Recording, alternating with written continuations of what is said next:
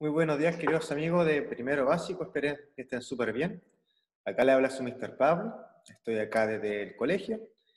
Eh, hoy me toca venir solamente por un día de la semana y quiero aprovechar también eh, de enviarle esta clase. Durante la semana hemos visto algunos aspectos que tienen que ver eh, con la suma. ¿Bien? Y dentro del documento que se envió había un concepto bien interesante un término bien claro que nos permite identificar lo que es la suma. Y mencionaba que era la acción de juntar. Fíjense muy bien. Acá, en mis manos, tengo unos perritos. ¿Bien? Estas pinzas, tenazas, pero conocidos generalmente como perritos. Fíjense bien ¿Qué voy a hacer? Voy a juntar un perrito o una tenaza o una pinza, ¿cierto? Y ya no tengo solamente uno, sino que ahora tengo dos. Y vino otro perrito y lo quiso morder de la cola. Y ya no tengo ahora dos, sino que ahora tengo, tengo tres. ¿Bien? Pues, justo se separo. Bien, vino otro perrito con mucha, muy juguetón y le mordió la cola. Ya no tengo tres, sino tengo cuatro. Fíjense entonces, eh, la noción de sumas es juntar. Bien, así también como lo hace un pastor cuando quiere reunir sus ovejas, ¿verdad? Y de eso se trata entonces el concepto de sumar, ¿cierto? Es juntar. Muy bien, muy bien. Vamos ahora a revisar y vamos a abrir nuestro libro de matemáticas. Y como el chapulín colorado, ¿cierto? Me voy a achicar. Y vamos a disminuir, ¿cierto?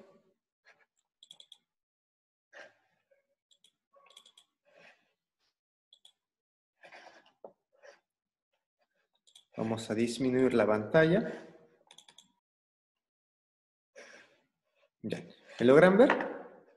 ¿Sí? Ok.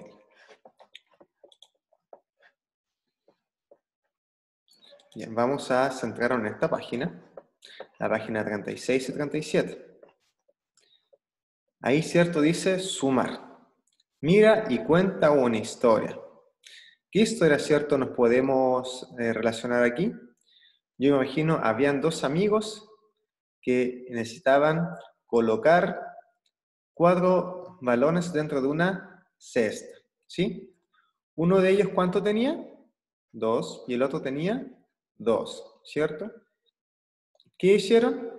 Lo colocaron en la cesta porque eran niños muy ordenados y dentro de la cesta estaba vacía, pero ahora la cesta está llena.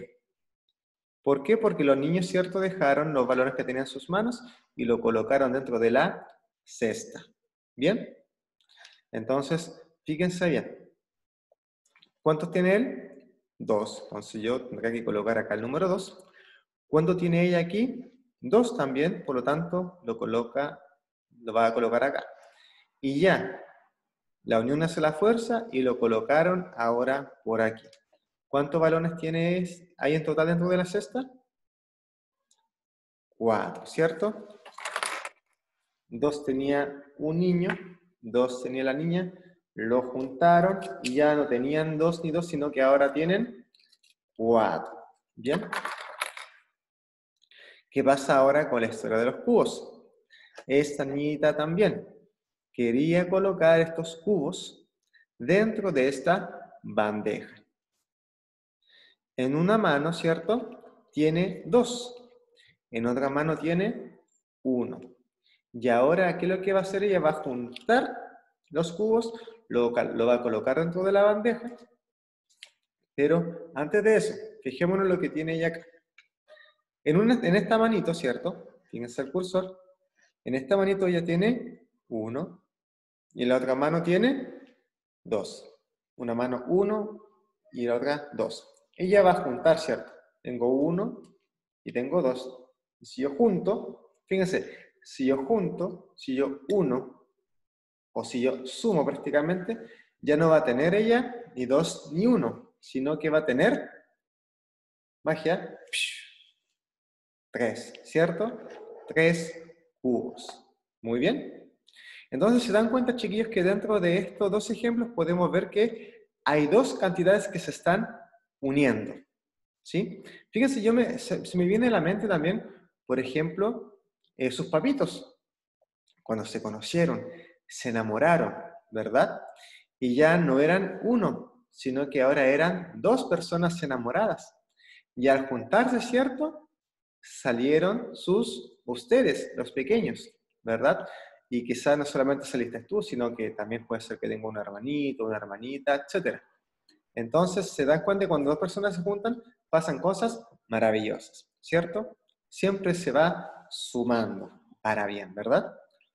Vamos ahora a la siguiente página. ¿Cuántos hay en total?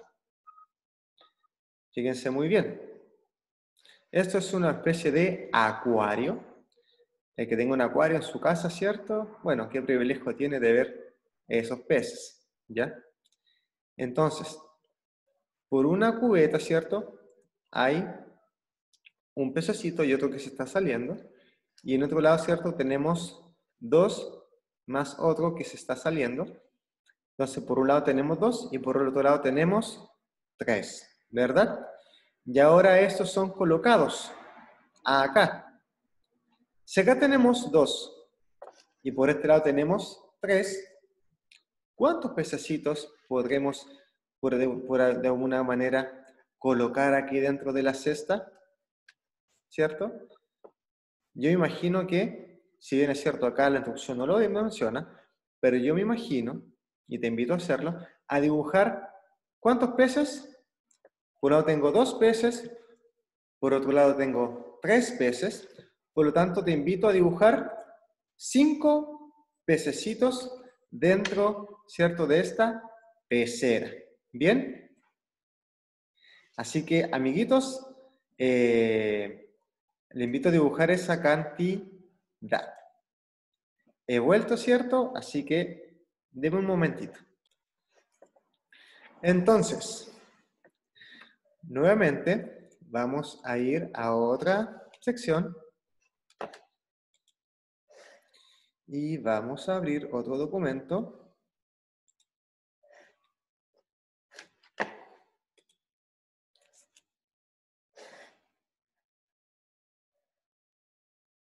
Aquí está.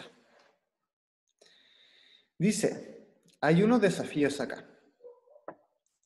Dice, analiza los siguientes eh, desafíos matemáticos.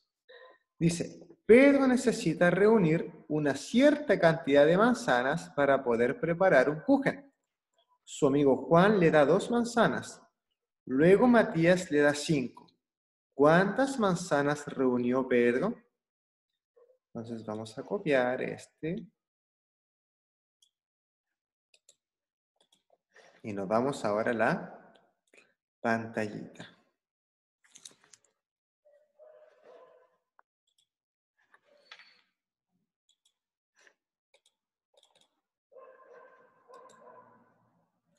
Muy bien. Entonces vamos a leer. Dice entonces.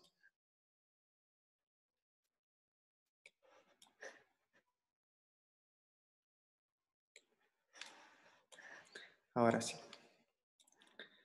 Dice, Pedro necesita reunir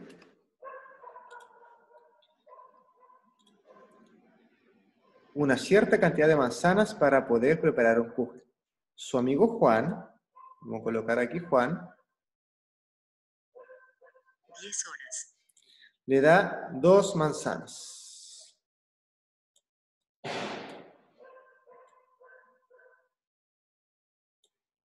Luego Matías.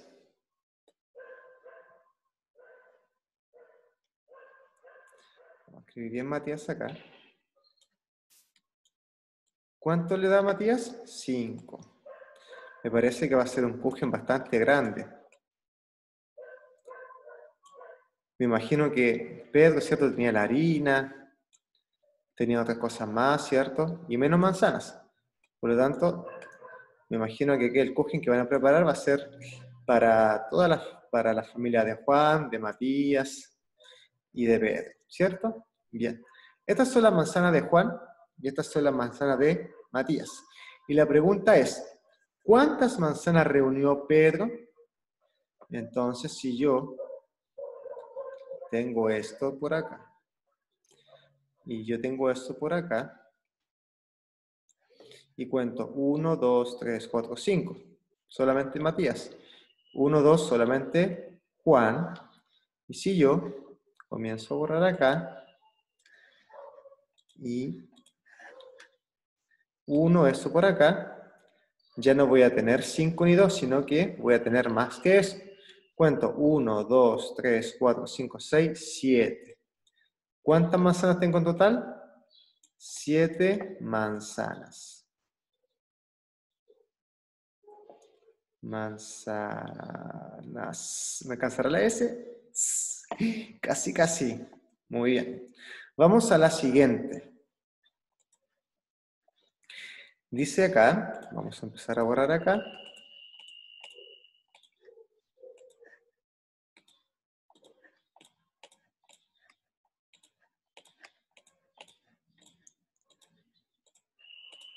Mire lo fantástico que uno puede hacer con esta herramienta. Bien, dice, Gabriela quiere organizar una pequeña convivencia con su amigo Daniel. Ella se ofrece colocar dos botellas de jugo de durazno y le pide a Daniel que pueda cooperar con un queque. Bien, ¿cuál es la cantidad de alimentos que tendrá su convivencia? Entonces, Gabriela quiere organizar una pequeña convivencia con su amigo Daniel. O sea, Gabriel, Gabriela y Daniel. Se voy a colocar acá Gabriela.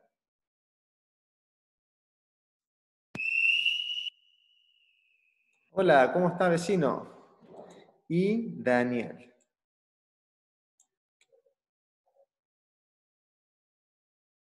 Es Daniel.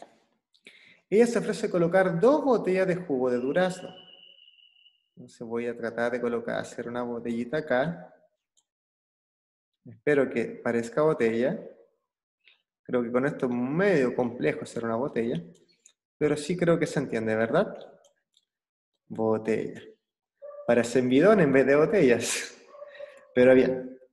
Y Daniel quiere, cierto, cooperar con un queque. Espero que el queque me quede mejor.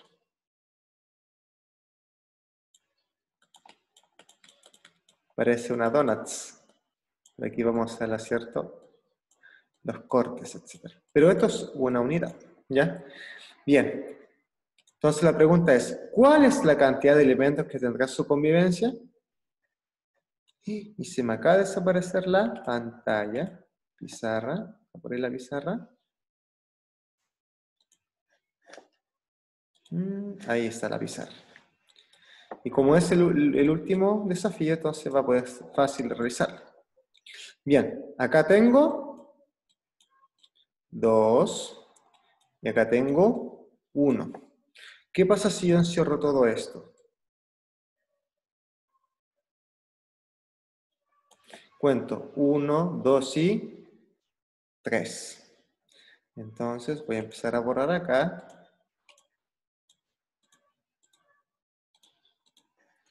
Entonces, ¿cuánto tengo en total aquí? Tres elementos. Bien, así que yo te invito a realizarlo lo mismo, lo mismo ¿cierto? En tu cuaderno. Eh, como consejo, si quieres, los puedes hacer con dibujos y luego representas el número. ¿Ya? Acá lo interesante es que uno puede trabajar, fíjese, en matemática no solamente se trabaja con el número en sí, sino que puedes trabajar con elementos concretos, puedes trabajar con dibujos y ya al final puedes considerar el, código en sí, el número, ¿ya? Así que vamos a volver. Bien, amiguitos, espero que te haya eh, servido esta clase para poder revisar bien los ejercicios y la noción de, de suma, ¿ya? Fíjate que el concepto de suma tiene que ver con, prácticamente es unir dos elementos, ¿ya? Juntar dos elementos, ¿ya? Así que en esta clase lo importante es que tú te quedes con esa noción, que sumar es juntar. Y cuando juntamos, ¿cierto? Sumamos, porque la unión hace la fuerza. Amigos, que estén muy bien. Nos vemos en el próximo capítulo.